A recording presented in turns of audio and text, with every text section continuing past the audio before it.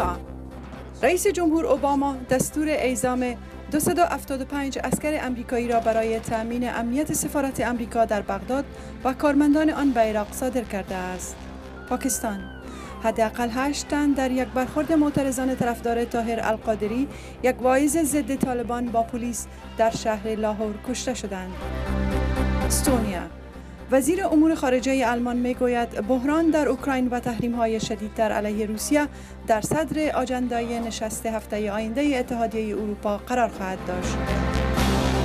چین چین 13 تن را به اتهام حملات در منطقه شینکیانگ در غرب آن کشور که در آن 24 افسر پلیس کشته و 23 تن دیگر زخم برداشت اعدام نمود.